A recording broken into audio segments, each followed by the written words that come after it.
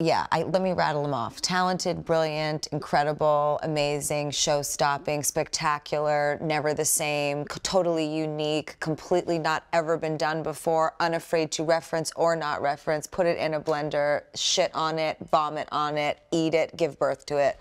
All those things. But actually, a fucking good person.